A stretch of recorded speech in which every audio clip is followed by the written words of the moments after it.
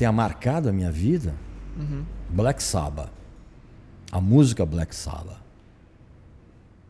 Por que ela marca a sua vida? Não, Cadê a história? Não, não, porque a música Black Sabbath foi um negócio que mudou, mudou a minha vida como moleque. É.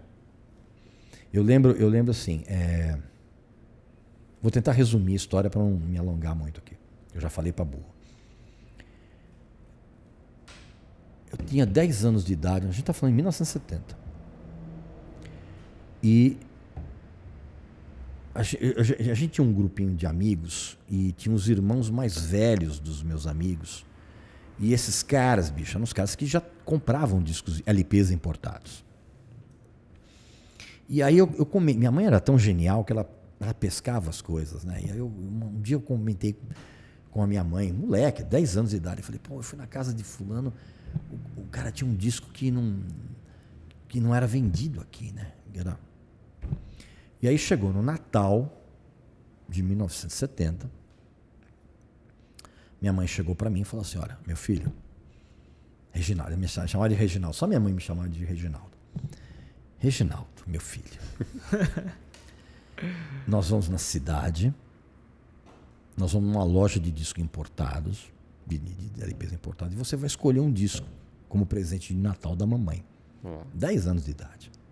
Eu já era essa, eu já era essa fofura que eu sou hoje, eu já era aos 10 anos, já in- inclusive com, com a beleza, Já com a genialidade. Não, eu já era assim, eu Já já, era nasceu lindo. de óculos azul. Não, cara, eu já era, eu já era, cara, eu já era lindo, eu já era genial, eu já era muito modesto, né? Que são as três características que eu tenho. Os três pilares do. É, os três pilares, é. né? E aí nós fomos no Museu do Disco da Dom José de Barros, ali no centro da cidade. E aí chegando lá, eu todo entusiasmado. 10 anos de idade, né, bicho? Porra. Que é muito diferente do que ter 10 anos de idade hoje. É, total. Total. E aí eu cheguei pro, pro, pro cara da loja e falei, moço, eu quero um disco de rock importado.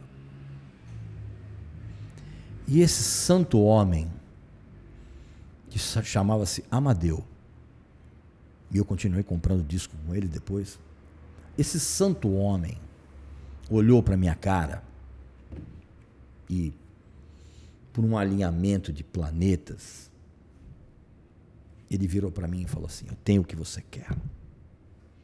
E aí ele foi lá na prateleira dos LPs importados e ele puxou o primeiro disco do Black Sabbath, que é aquele que tem aquela moça verde, quer dizer, moça não, né?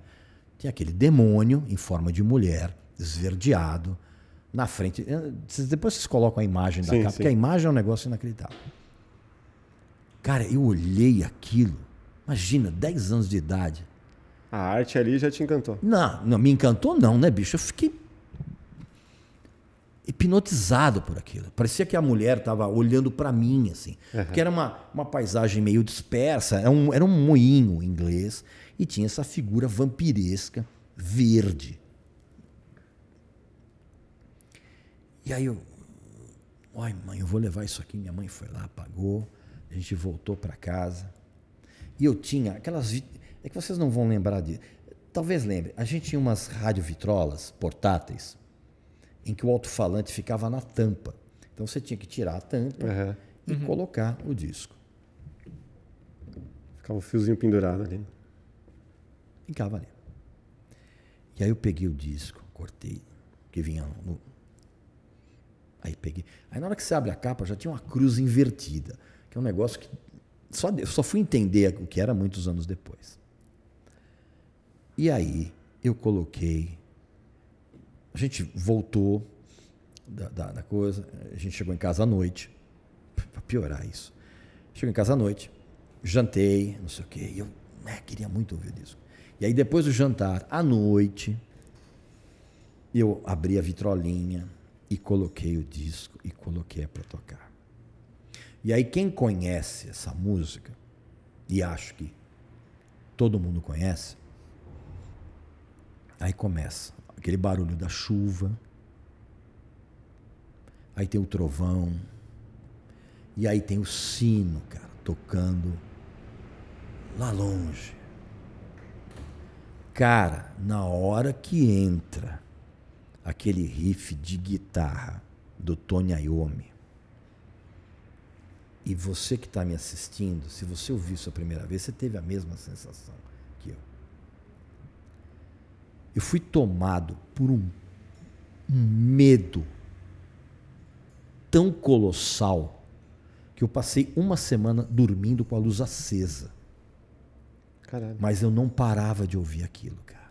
Porque era, era, era, era, era a tríade infernal, É. né? Que são aqueles três acordes, que foi, inclusive, era proibido pela igreja na, na, na Idade Média. É uma história muito longa. E na hora que entra aquele. bam, Cara, meu cérebro escorreu pelas orelhas, a minha alma começou a dar cambalhota dentro do, do corpo. Aquilo ali mudou a minha vida, cara. Mudou a minha vida. Eu certamente eu seria um. Será? Sei lá. Eu seria um vendedor de, de enciclopédia hoje. Eu seria um, um, um cardiologista eminente hoje. Se eu não tivesse ouvido aquilo, cara. Aquilo ali transformou. Mudou, mudou a sua vida. Não, aquilo ali transformou a minha vida. Eu virei um. Sei lá o que, que eu virei. e, aí, e aí depois. Aí foi a. Cara, abriu, a- abriu a porteira, cara. Aham. Ali, ali. Tudo que eu tinha aprendido de coisa de- dos Beatles, aquela coisa. Cara, aquilo ali foi complementado por uma das experiências mais aterradoras. E eu tenho certeza que todo mundo que, quando ouve essa música pela primeira vez, sente a mesma coisa. Agora, você imagina você em 1970, com 10 anos de idade, não tinha internet, não tinha nada, você ouvindo um negócio desse. Imagina, cara. Filme do, do, do Boris Karloff parecia Mahatma Gandhi perto daquilo. ali. Que isso?